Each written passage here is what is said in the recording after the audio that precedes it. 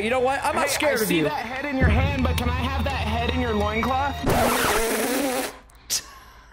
Nope. Nope, I think that's a no. No, nothing. I, I think I just got rejected by a demon. Well, that's a first.